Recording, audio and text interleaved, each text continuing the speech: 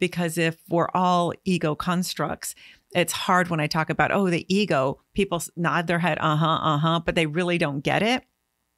And I've worked with people who said, oh, I've been in therapy for 10 years, or I've been in therapy for five years and I'm still messed up. And I thought, wow, what if I break the ego down into these eight categories? Hey guys, I'm Ashley Dawn Rivard, and you are now into The Dawn, a provocative podcast that looks at all things taboo, such as suicide, grief, sex, addictions, and more. Each week, I talk with experts who successfully investigate their areas of interest. And if you like what you hear, please remember to subscribe. As a TV host, author, business and life coach, and documentary filmmaker, Lisa Haisha has had one burning desire, and that is to figure out what makes people tick and why. She's traveled to more than over 60 countries in search of this. Today, we discuss how her repressed upbringing fueled her fire to break through any limitations and find out who she is as an independent, empowered, conscious woman.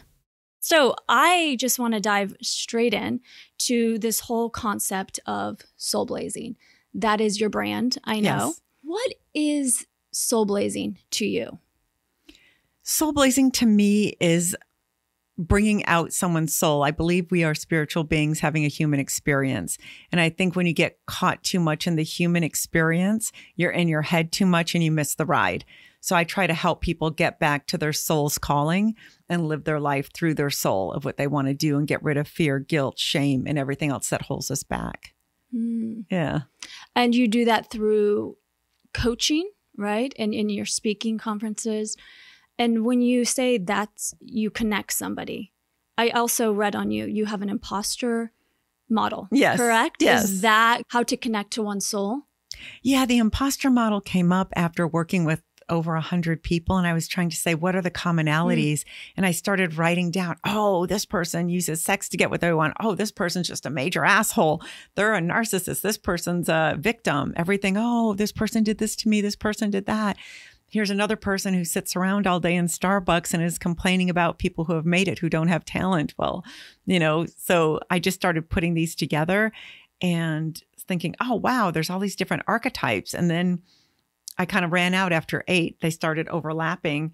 And I didn't find any more as I was going along. So I said, oh, here's a good subset of characters mm-hmm. people play to either get ahead or to fail because they're afraid of getting ahead.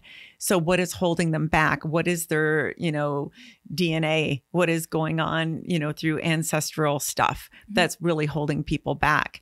Because why are they doing this? They want this career so badly or this relationship, but they're not getting it. They I keep saying, "Oh, it was working until this," and it's something they did.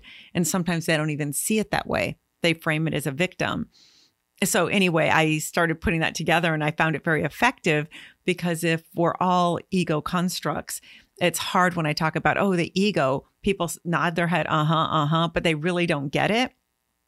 And I've worked with people who said, oh, I've been in therapy for 10 years or I've been in therapy for five years and I'm still messed up. And I thought, wow, what if I break the ego down into these eight categories? So once I started speaking about that, and explaining the different imposters. And I'm like, who's this? Who's that? You know, listing them, people would raise their hand. People would be coming up to me saying, Oh my God, you helped me so much. I get I'm a sex goddess because they could deal with one chunk. They Mhm. can't deal with the whole. Mhm. So it's just like anything, one step at a time instead of, oh, I'm going to be a writer, I'm going to be a producer, I'm going to direct. And then it's like, ah, and you do nothing. Right, right, right. So yeah, it's, like- overwhelming. it's overwhelming. Like, oh, if you're going to be it a writer, director, producer, write your script first Yeah. write one page a day, Yeah. you know, and then maybe Yeah. after a couple of weeks, two pages a day and get up to five pages a day, Yeah. you know, and give yourself that time. So it's the same thing with the imposter model. It's like, which one do you relate to the most? Which one is driving you? Okay. And then fix that issue. And then you will say, oh, another one popped up and another one, because most people have at least two or three. So, how do you fix that? Or what are some tools that one can start using when they go, oh, this is what I am? Then what? It's great to have, okay, I'm aware of it. But then there has to be something that takes place, right? To Yes. correct it. Yes. So, is it just becoming self aware and, and, that's a start, or what are some steps? Well, that is a start. I look at the imposters kind of like a pit bull. And if you train a pit bull, it could be a loving, sweet pet. And if you don't, it could be a vicious animal that goes out and bites others and bites you. Mhm. You've heard a hundred stories about that. Mhm. As a matter of fact, my sister was just attacked by two pit bulls Oh that just God. jumped the fence and she was walking her golden retriever on the street and one went after the retriever and one went after her. And for 10 minutes, Oh, chomping at the bit. Is she okay? She is okay now, but they both had to go to the hospital Oh and the dog was kind of messed up Of and had to stay there for a week. And then the owner said, I don't know what happened. The door just was unlocked. It's like, ah, you don't keep your door unlocked. That's just not okay. Oh. I think they had a sitter that day and wasn't as, you know, Oh, vigilant. Yeah. Yeah, but it's like, oh, they trained them to be attack dogs if someone breaks in their house. Yeah. So that's the same as your imposters. If you don't recognize them or understand how you're living your life, they're going to just take over. Then they're going to attack people in your life, friends, family, relationships, and then you're you're going to be constantly saying, "Oh, I'm sorry," Mhm. or "Sorry, I got so drunk and I said this and that," or "Sorry, I." wasn't there when I said I would. Sorry. Your whole thing is sorry. Or I didn't do anything. Why are you so, you know, getting so upset about nothing? And this is just who I am. And, you know, Yeah. so I say you have to train your imposter. So, and I say name your imposter because once like you that. name it, then it becomes a character because we are all characters in this game of life Yeah. and you get to write, direct, and produce you. yeah. So, oh, wow, that character is inside me that I had no idea. Like, what's a character? What could you? Your sex it? goddess Okay. or your whatever, Marilyn, you know, if you Okay. that relates to you or your narcissist, you know, okay. Yeah, I'm Yeah. not going to say any names, but you, there's some several narcissists that we all know that are famous and, yeah. you know, or the clown. You know, I've worked with a lot of, you know, comedy writers and Mhm. comics because, you know, my husband was in television Mhm. and Two and a Half Men and Big Mhm. Bang, where it's all comedy. And I'd be in the writer's room where I talk to these writers and they're all ha ha ha, joke, joke, joke, laugh, laugh. Once they're off, most of them, I'd say 90% are depressed. And they're just, you know, they have all these character um I'm not going to say defects or flaws because that's what makes them great, but they have these character um, that they play outside of being creative of, oh, I'm depressed, life sucks, and um, life is hard, or things don't work out for me, or low self esteem, or self sabotage, like all these things Mhm. that self loathing. Mhm.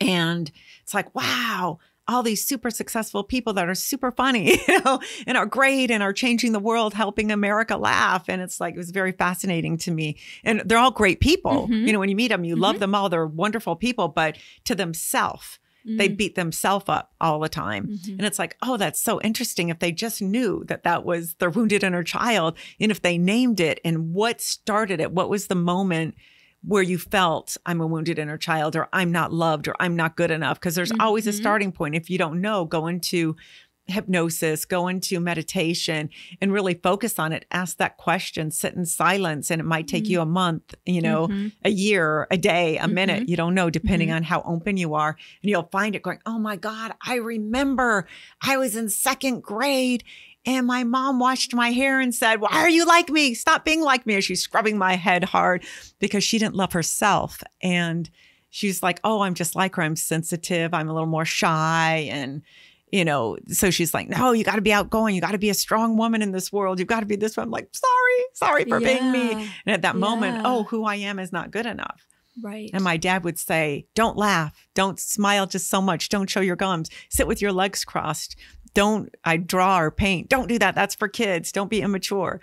Just be social, wear your makeup, look pretty, and, Mhm. you know, serve, Mhm. serve the man. This is who you're going to marry. You're going to have Mm. kids. And if you're not married by 25, your shelf life is done. And Mm. it's like, oh my God, I've got to just be pretty and nice to get the best husband I can to serve him the rest of my life and have babies. And there's nothing wrong with that if that's your choice. Right. You know, you're going, oh, I want to create a family and the greatest family and I want to have kids. Great. It's your choice, but not this is who you were born to be. Mm-hmm. And you don't have options. yeah.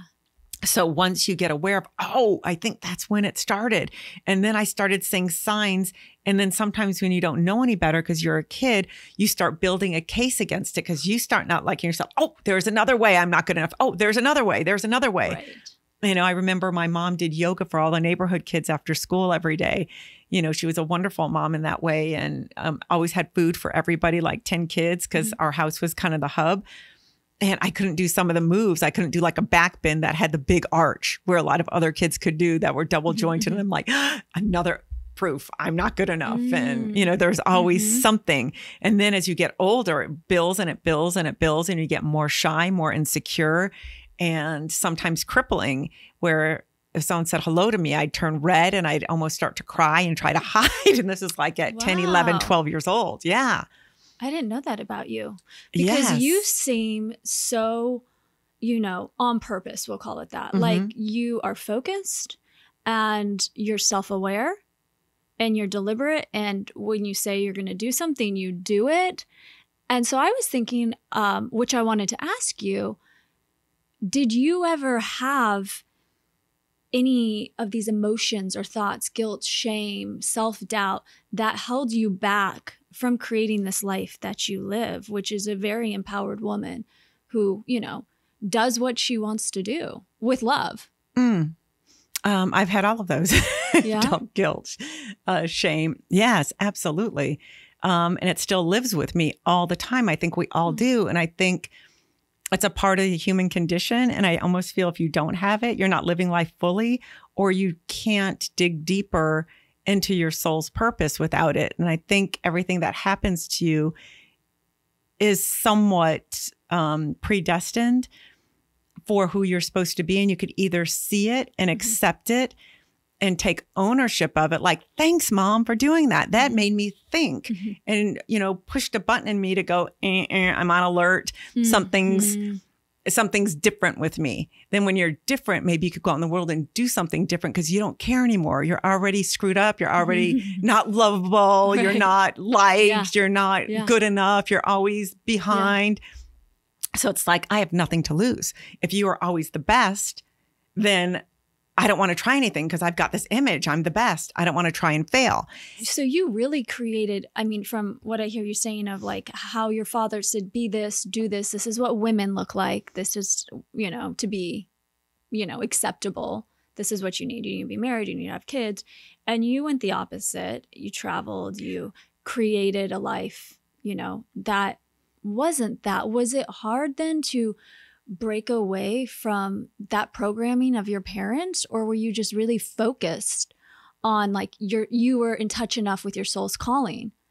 No i was fucked up. My, my, my, dad pulled a gun on me when I was 16 for baking a cake three houses down. And it was five o'clock and the street lights were on, and I was walking home in my checkered schoolgirl uniform and he never was home. He worked 8 a.m. to 11 p.m. He got home. So he happened to be home that day because he was starting to work a little less when I was in high school. And what are you doing? He's, pull a gun because I was at home. As soon as I walked in the door, there it was. And oh I'm like, God. what's going on? I was just baking a cake for my friend at school the next day. Mom knew. And what are you, a whore? And what are you doing walking around the streets like that? I'm like, it's my school uniform. Oh, I'm not walking wow. down the streets like a whore. You know, just like this yeah. much from your, yeah. your hemline to your knee is showing yeah. and knee socks and Wallabees and, you know. So at that moment, but I understood him. It was Iraqi way. And I have four other sisters, and he didn't want one to get um, you know, in trouble where it would mess up everyone else if one, you know, strayed. Mm. The whole reputation of the sisters and the cousins and the second cousins and the third mm. cousins and the whole community would, oh my God, did you hear about? Then everyone's reputation is ruined. So I got and I knew he did it out of love, you know, because that's mm-hmm. just, I experienced a lot of intense discipline in our mm, culture. Mm, yeah. But it still didn't feel good. And my yeah. mom was going, stop that, and tried to take the gun. Oh, you got to send her to an orphanage and get on the phone right now. I'm like, what is an orphanage? That is fascinating. An orphanage. Oh. And you know, I was 15 or 16. So then I said, Oh, I want to run away. If I had the money, I would. So he gave me a wad of money. I'm like, Great, I'm leaving. Then he's like, Why should I give you money? And took it away. And wah, I went to my room crying. And I just sat there and thought, Wow, he's protecting me from everyone outside. I'm not ever allowed to go out, talk to strangers, go camping, have sleepovers because everyone might hurt me or be bad. So maybe the devil's within. And that's what broke me. I said, I don't, I come in alone, go out alone. I'm alone. And I at that point started hitchhiking and getting in cars only with like Hell's Angels types. If it was a nice person, I'd say I'm just kidding. Oh I went to the worst of the worst, you know, ratty cars, tatted up people, you know, and I'd say, Are you going to rape me? Are you going to hurt me? Who are you? Why do you drive this car? Why don't you have money? Why do you have tattoos? Why are you screwed up? Why are you an alcoholic? Have you killed people? Have you done this? Ah, Just curious, voracious Yeah. curiosity because he said all these people are bad. So I'm Huh. like, Are they? And a friend of mine at school was hitchhiking all the time. And I always say, No, I'm not hitchhiking with you. And then once that happened, I said, Hey, hook me up. How do you do it? So I went with her a couple of times and started doing it independently anytime I could. Yeah, just to have the experience. And Mm. nobody hurt me. Everyone was wonderful. Hmm. And I went, huh, the world out there is not so evil. But that set the intention in my mind. I've got to move. Wow. So when what age were you then when you really took on this work um, and developed your business? The soul blazing work. Yes.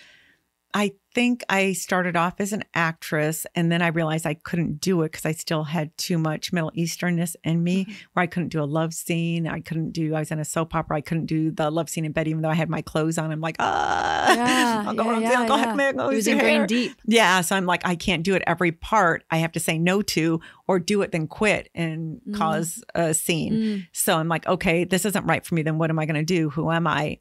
And then someone said, Oh, you're a writer. I'm like, I'm not a writer. Yes, you are, because you tell all these stories and you have all this, you know, insight. You Mhm. need to travel and write.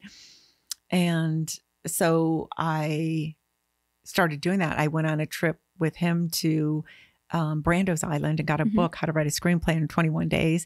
Sat there for 21 days and wrote the screenplay, came back and sold it for 75 grand within a couple of months. Oh my God. Yeah, That's amazing. And it wasn't great, but it was the passion in it that they Oh, bought. yeah. And my my ability to sell because I was so oh my god the script it's so amazing and you know whatever so Orion took it but then they folded so I said oh shoot I have to become a producer that's how you own your own stuff Uh, then I got asked to model in Tokyo. I said yes because they had all the money. So while I was there, I said I got to raise a million dollars. So I do the fashion shows and do this or that. But anytime everyone would go out, I would say I'm not going because I wanted to um, raise a million dollars. Uh-huh. So. You know, I made a joke and said I'm not going out, and and they're such great photographers. I didn't want to stay out till one in the morning getting drunk when you're up at five a.m. taking pictures. so Yeah, I was yeah. like, uh, I'm not going out unless someone gives me fifty thousand dollars to talk about my movie idea, just to make something extreme that would never happen, Yeah. so I wouldn't have to go Yeah. out. But then I became the girl that won't go out unless she gets fifty thousand dollars to talk about her idea, and it started intriguing people. And they had a lot of money, so someone said, "I'll pay you." No. I'm like, "Are you kidding me?" Yeah. Really? Yeah.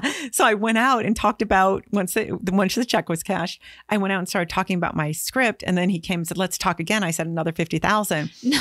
because I didn't believe that he would do it. And it's just a joke to me because I didn't ever think I'd get it, which that taught me confidence. When you stay Right. firm and confident, people love confidence. Yeah. And now in retrospect, at the time, I thought I was just being a silly girl, just aha, you know, Yeah. goofing around. But you didn't have any, it sounded like you didn't have any self doubt thoughts going on. because I know? didn't think it was real. Right. So it wasn't real to me. It was just a game. So they said, "Where's your script?" I said, "It's here." You know, what's it about? Oh, I don't. I can't tell you because it's such a great idea. No, they like- gave you money based on that? Yes. So then he said, "Okay, let me take you to the board of directors of this um, machinery equipment, ball bearing stuff, robotic equipment." And there are several of the guys that tell me why, and I said, "I'm not selling you um, a screenplay. I am selling you an adventure of your life. You're all boring. You're all ha- you're robots. You have this awful life. You don't love your wives because all of them, you know, I talk to the women and the men. All of them are just like, I keep my man away. Just bring me the money. And most of the men were just workaholics and they go to hostess clubs at night and everything's on credit cards. Everything's a company card. They can't even buy a Porsche or a BMW. They have to all drive Toyotas. Everyone has to be equal. So I'm like, you can't even spend your money. And it was an enormous amount. What I recall is 90% taxes, like ridiculous amount. So all the money you make, you can't even keep. And everything's the company card. So I said, use company money, put a million dollars into this project, and you get to come to the United States at least like three months throughout the year, you know, two weeks, 3 Mhm, weeks, a mhm, month. And you mhm. get to be with all these blonde actresses because they were obsessed with blondes. And everyone's going to say you're investors and treat you like kings. And you're going to get this experience to tell your grandchildren and to share stories for the rest of your life. And that's what happened? And they said, wow. So I was selling them on that. They go, well, what's the screenplay? I go, Psycho Sushi, just because I thought they were all crazy and they all eat sushi. oh my God. what's it about? Uh, Tokyo, because I was in LA, because I'm in LA, and uh, uh, hot sex, and because they're into sex, and Yeah. cold fish, because everything Yeah. is cold. Oh. They're like, oh, I like that. I said, yeah, it's really good, huh? And then they said, okay. And I'm like, okay, the money has to be in my account within a month because a lot of people want to invest in this. It's really a great oh idea. Oh my God. The money was there. And I like- in awe right now. I'm like crazy. No, but what that taught me is when you're fearless, people Right. want to jump on board. Now, if I had a script and here's the budget, they said, How do you know it's a million? Can I have a breakdown? I go, It's always a million. I said, Nobody's honest. Everyone just fudges that and gives it to you because they have to, because that's what you Right. ask for. I said, But it's all bullshit. I said, But if you look at almost all of them are a million. If you look Yeah. at you Yeah. know, the Writers Guild, go Yeah. to the Writers Guild Independent. It's a million. That's what it is right now. And we'll make it fit in the 1000000 Mhm, dollar mhm. bracket, Mhm. which we did. And, you know, so I said, it doesn't matter where the numbers fall. Just trust me and let's have an adventure of a lifetime. And this is what you're going to remember for the rest of your life. Not that you showed up at your office every single day, day in and day out for 40 years. right. Yeah. Oh my God. Yeah. I love that story. Yeah. I love that. That's Yeah. amazing. So something else I I love about you um, when we met is you were telling me about your marriage, Yes. and it was so unique to me. You were the first woman where I felt, oh, maybe I'm not so out there because of the the what is the word I'm looking for? Like how we're taught in society that relationships and marriages look like, right? And how uh, I know I have always thought, oh God, I'm so independent, and how how do I get in a relationship if you know because it's like i'm battling myself and i'm battling with my family and society and, and all that. So when i met you and you were like i'm married and we've we don't live together. We live in separate houses. And i was like that's amazing. Now i don't know if it was amazing for you but i thought it was amazing that you chose to do something and it, it seemed like you had no shame in it, you know, where a lot of women try to make their marriage look really perfect, right? hmm And you weren't. You were like, "This is what I. This is the way I think is." each marriage is perfect for how you want to make it. You create your marriage. I don't believe there's any one way. I think the reason a lot of people are unhappy because they go, "Oh, this is the way it has to be," or "This is Mhm. what my parents were like," and this is what you know my friend's marriage is like. I think we're all such unique beings and all have unique needs, Mhm. and um, unless you consciously create your marriage, which is what my husband and I did, we said this works for us. Um, he was married before and he had Mm. kids, and it was the idea that oh, the youngest one wasn't going to get to live with him by himself for a year, and then we got a house, and we said, oh, let's all move in there, and then the house seemed too small for everybody, and because we weren't. Mhm. We Mhm. just fell in love with the backyard. Oh, okay. Walked in, wow. And Yeah, then we thought, yeah. oh, wait, the rooms are really small in here and this and Yeah. that. Going, "Oh, I don't know if that'll work. And a friend of mine came over. I said, help us make this work. He's an architect. And he said, this is your soul blazing sanctuary. It's not a house. This is like a cabin house.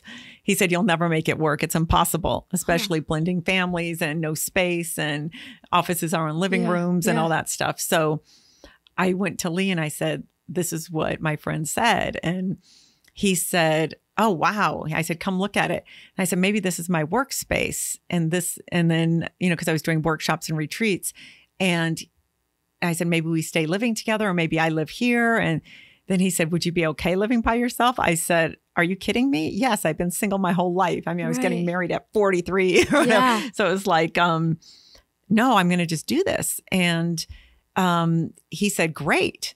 And I said, This is awesome. So I created the house and then we had sleepovers, of Uh-huh. course, and we saw each other when we wanted to, and we set um, date nights and we set sleepovers, and it was great. Yeah. And then when his um, son went off to college, we're like, "How's it working for you?" He's like, "Do you want me to move in, or do you want to get in?" I'm like, "You know, I'm good." And then he's like, "I'm good," and I'm like, "Really?" And we're both going, "Okay, let's just check in each year and see Mhm. where we land." Mm. Then we had Ava, and it, I don't know. I think it worked for him not being Mhm. there 100 percent, and Mhm. whatever it worked for me because you don't fight about how to raise a kid because everyone has Mm. different ways of raising a right, child. right. So yeah, it just worked. It just worked for us. And we checked in each year. And if we wanted to see each other more, we just crash at each other's house for a week or two. And then, okay, we're good. And then, and we took a six week vacation every year, Oh wow. Like to Cambodia or someplace big, Cuba, something. So we had a great chunk of time. Yeah. That was just us or us and Ava. When we had Ava, and I always Yeah. brought a friend to help. So, yeah. you know, we could have fun too. And Ava could have a good time and where we'd still get a little privacy. And right. so it worked. It was Awesome. great. Yeah, there's this. Um, I saw an interview with an intimacy coach, and she said, if you want to make your marriage work, this is her opinion. If you want to make your w- marriage work, have separate houses. Yeah. And it keeps a mystery there. That's what she's You know, saying. yes, Yeah, absolutely. yeah. Have you heard of the psychol? Is she a therapist or psychologist? Esther Perel. Yes. Okay, Yes. yeah, I was like reading her work, and Yeah. you know, amazing. just the whole yeah. eroticism, Mhm. right? Her Mhm. whole work is on eroticism, or I don't know, but Lee yeah, and I watched her together. Oh, okay. Different times. Okay. Um, yeah. So I want to kind of shift gears, and, and we'll we'll touch base then more on. Well, your, let me just uh, Oh. share one last thing on Yeah. that. When she said that's the way to make marriage work, I don't necessarily think that's the way to make make marriage work. I think um, everyone's unique. Sometimes Uh-huh. people like to be with each other all the Right. time because we're all wired differently. But I think it works for some people, and I think people should go, "Who am I?" and be honest about it. Because if you're a person who needs more space and you're with a person who needs to be attached to someone twenty four seven, that will be disastrous. And the same opposite. right. So I think you got to be honest in the beginning and not Yeah. just say, I just want to get married. So I'm going to stuff who I really Right. am. So I'm likable or lovable. Then let it slowly creep up when the marriage starts, Yeah. you know, after year one Yeah. or whatever. So I'm just being honest with Yeah. who you are and kind of what we did. Let's check in with each other. We both needed space at that time, but we both wanted someone who had our back. right. So we're like, okay, how you doing? Checking in. If one of us said the opposite, we'd say, okay, let's regroup or let's split, you know, whatever. We would figure it Yeah. out. Yeah. But we checked in and we're both like, this is awesome. Yeah. We both Yeah. felt it was in sync, but not to do it to someone. I'm going to abandon you emotionally and not live with you, Yeah. you know, because that's who I am. Once you said I do, it's like, wait, my deal was getting married. Yeah. So it's a very fine line. So for me, it's about being honest with who Honest, you yeah. are before saying I do, saying this is who I am. Like before I got married, I said I traveled two or three months alone every year. right. You have to be okay with that because that will not be Yeah. stopping once we're married. Yeah. He said, Oh my God, you're my dream girl. Okay. And I'm like, oh, Yeah. really? He's like, yes, you promise you'll keep doing that because he gets bored easily. And he Oh. worked every single, you know, Monday through Friday, long Yeah. hours, a lot of pressure. Sometimes he just like to not even have a conversation over the weekend or when he comes home. So he's like, oh Mhm. my God, that would work great for me. So Mm. it's like, oh, okay, that's a match. and did you always feel connected then, Yes, very much so. even if you didn't speak to him for a day, a few days? oh, no, we week? would Oh, connect just through okay.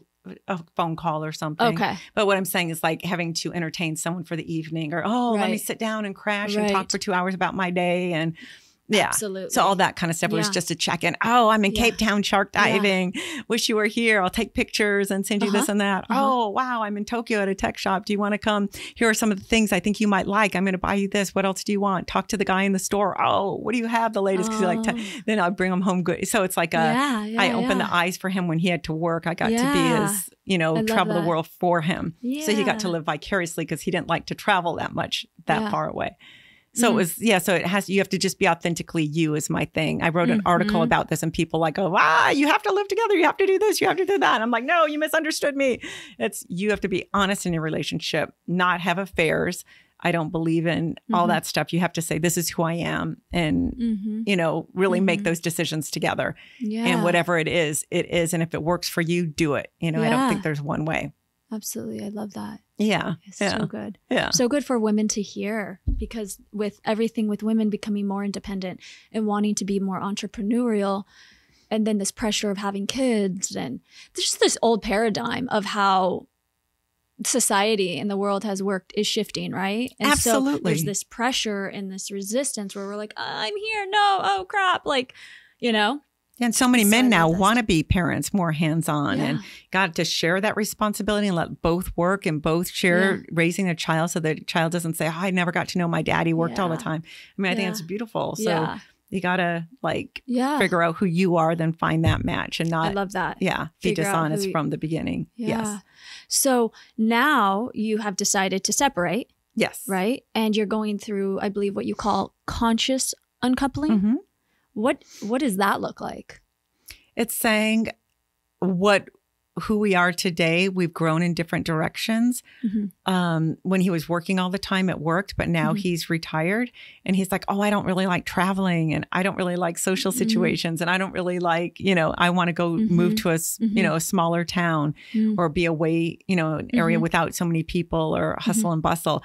Where I'm going, oh, I love traveling. You knew that about me from day one. And I love creating intimate dinners and Yeah. social events and bringing people together. And he knew that. So it's like, wait, but he's like, oh, now that I'm out of that, this is what I want. So we're like, you know what? Let's honor that Mhm. and let's see what we can do. So for about two years, we have been going, okay, what do you want to do? What do I want to do? And trying to make it work. And we go, wow, we're just kind of compromising for each other. Mm. And we both understand we're spiritual beings having a human experience and we're here to grow and learn and evolve. Our souls are supposed to Mm. evolve. We don't want to be trapped in our humanness Mhm. of, this is what we did. We said we are going to get married, Right. and everyone's watching us because we said we're doing it our way and living separately. You know, Yeah. we get a lot of media calling, "Are you still together? Are you still together?" Right. So Yeah. it's like, oh, we got to stay together because that's what we said. yeah. And it's like, no, you don't. This is part of the journey. Yeah. And so we're saying we still love each other. It's just, you know, our humanness, our human characters want to have a different experience. I want to keep traveling and learning and growing. And he's like, I'm done. I just Okay. want to chill, watch TV, hang out, take walks, you know. Yeah. yeah. So you be you, boo. And Yeah. I'll be Yeah. me. Yeah. No Oh. judgment. So it's like, okay, so now how do we, you know, yeah. deconstruct our marriage. So conscious uncoupling is a way to do it gracefully and through communication and through love instead Mm. of I hate you, you destroyed my life and all that kind of stuff. You have to do this because we're Yeah. married and you said this and it's like yeah. Every day's a new day. Yeah. Every day you grow, every day you learn. So whatever you, whoever you said and were 15, 18 years ago when we met, it's like we've grown so much since then. So why you have to stay the same? No, just Right. because someone said, "Oh, this is what I want." At Yeah. that time it worked. Now I think both of us would like to live with a partner and be have a more deeper intimate relationship, you know, for you know, act 3 of our lives or whatever. Mhm. And together it's kind of impossible because we're such opposites Mm. where before we loved it. I loved having a Mm. responsible guy who worked all day and took care of, you know, Yeah. held the Yeah, fort yeah. while I was off going, woo, Yeah, yeah. experimenting and learning and growing. And he loved Yeah. that I was off because he didn't want someone 24 7 with him. Yeah. So it was a perfect marriage. He- Yeah. We supported each other's needs and we came together. We had a great time and had a lot to share and a lot of laughs. And okay, let's separate again and come back. But connecting each day, of course. Yeah. And yeah, so it worked. But now Yeah. it's like, wait, if we're both kind of home all the time and we want different things, like I love music all day and he likes TV and I mean, just little things. Mhm, You know, he made a mhm. joke about even temperature. You know, I like 68, 69 degrees in the house. He likes 74, 75, 76. He's like, I'm always cold in your house. Like, I'm always boiling. Oh my So it's like everything is different. Yeah. I love a glass of wine and, you know, I'm a vegetarian. He's a meat eater and doesn't drink. You know, it's like everything is opposite. So- wow. I think it's great Okay. that you could be that conscious Yeah. to go through such, you know, a very sensitive um, yeah.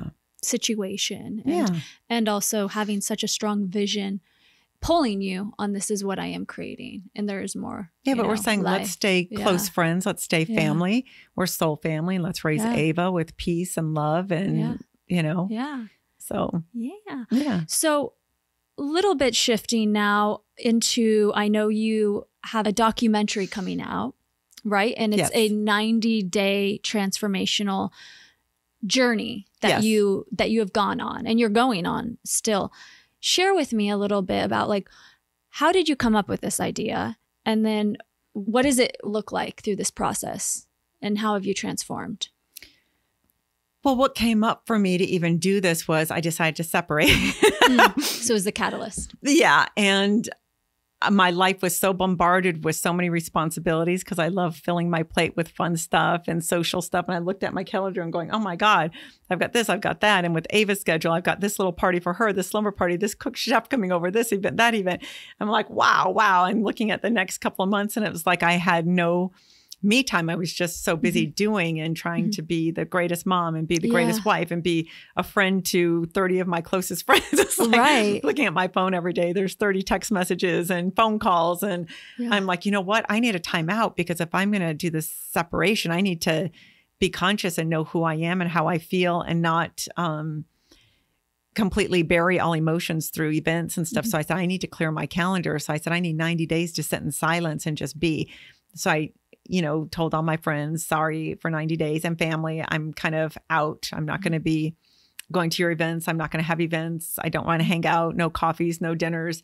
Just I need to be alone and go through what I'm going through right now. So once I said that, friends understood. Where before I'm like, oh, I need a time. Oh, come on, just come. I'm like, okay, eventually. Mhm. So once I put those parameters, for some reason, people respected that a lot Mhm. more because it was like, Mhm. this is serious. I need this for my health and well being.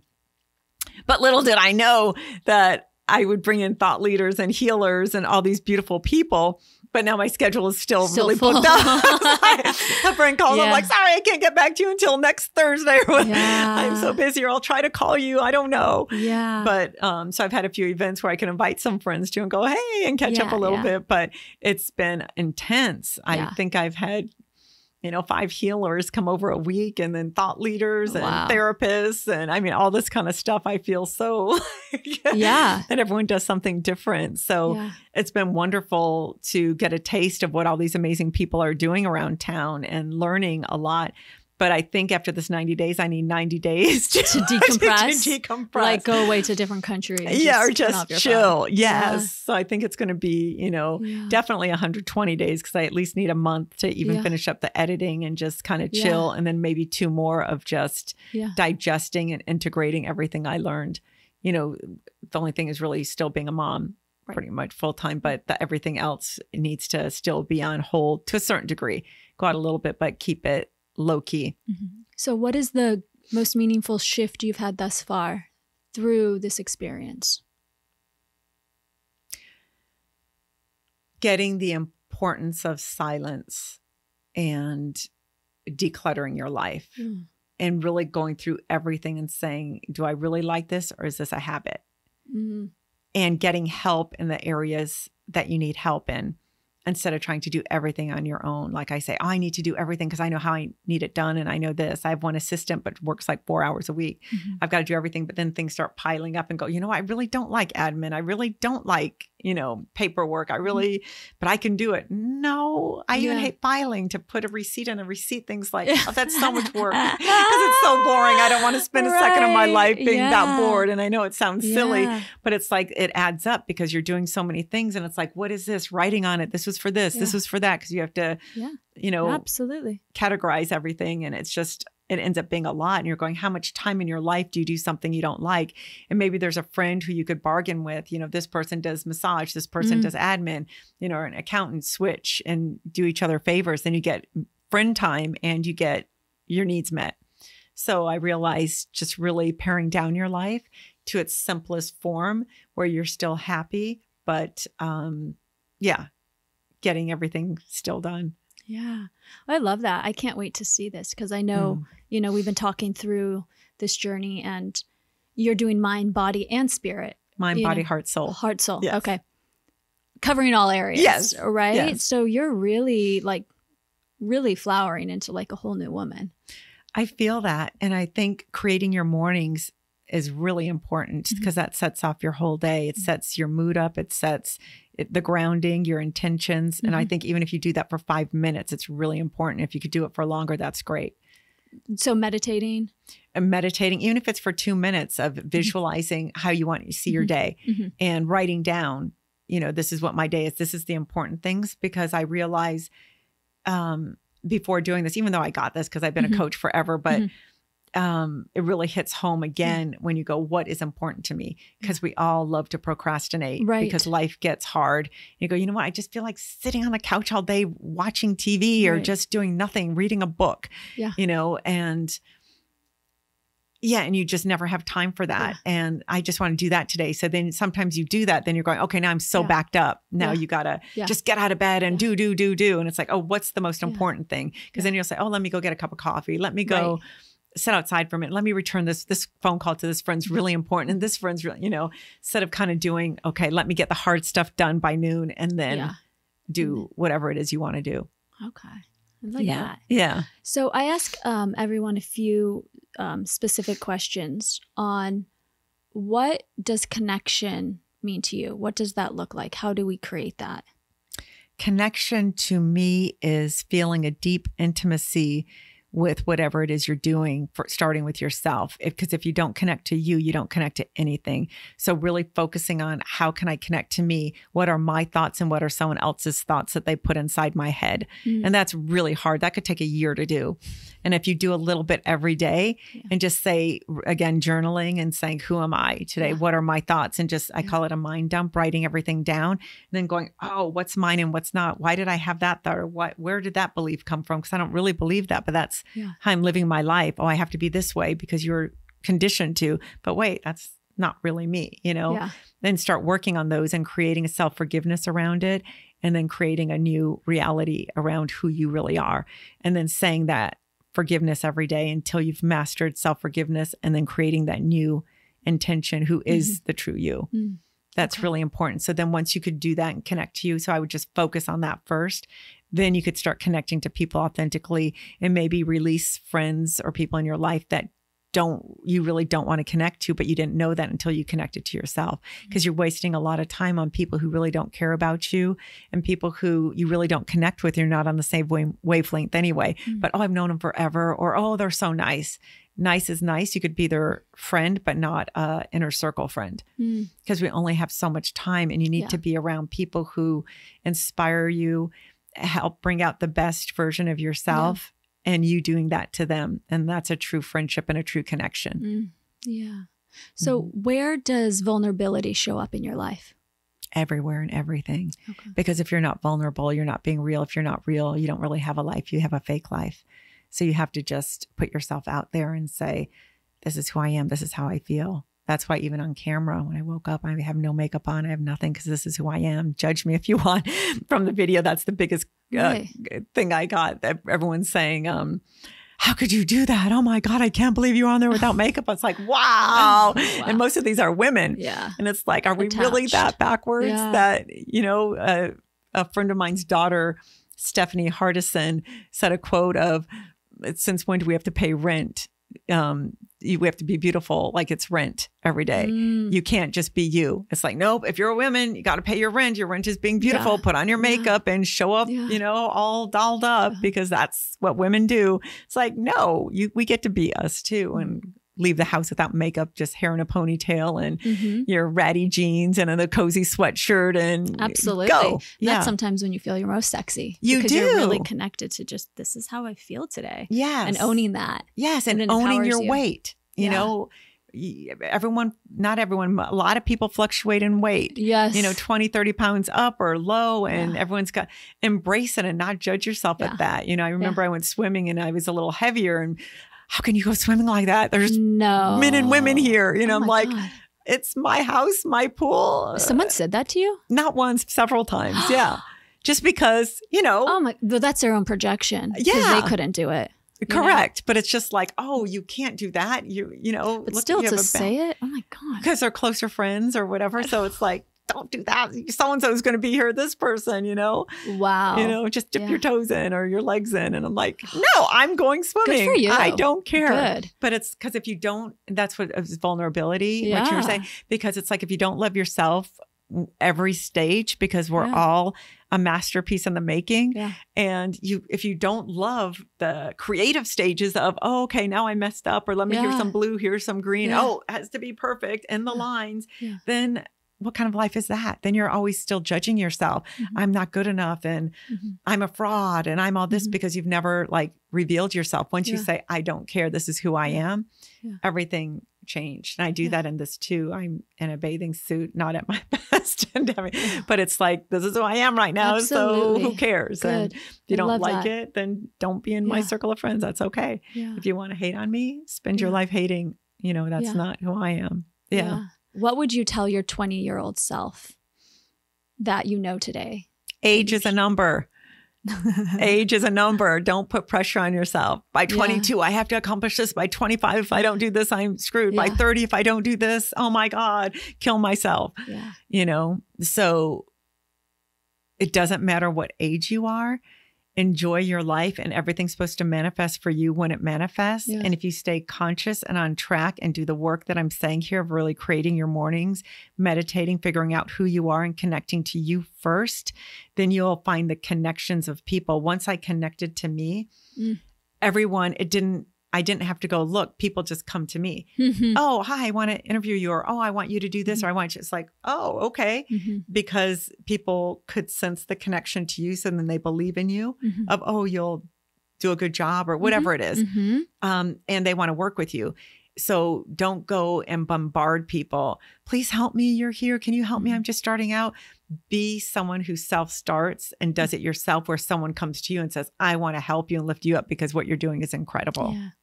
I love that. Yeah. That's so important. Thank you for sharing that. Yeah. Yeah, that's that's awesome. Well, thank you so much for taking the time and and talking with me today and sharing about your soul blazing and just your authenticity of, you know, your relationship and your process and how you became to who you are. Mm. Um, it's it's really it's beautiful. Oh. So thank you so much. Oh, and I can't wait to see your documentary. Oh, thank you. You're in it. you're a BFF. I love you and adore you. And yeah. Yeah, it's So great. so it's proud of you. inspiring. Hmm. So thank you, Lisa. Thank you, honey. That's it for today's podcast. Thank you so much for taking the time to listen today. Please let me know what you think. Leave a comment, share, and we'll be back next week with a new episode.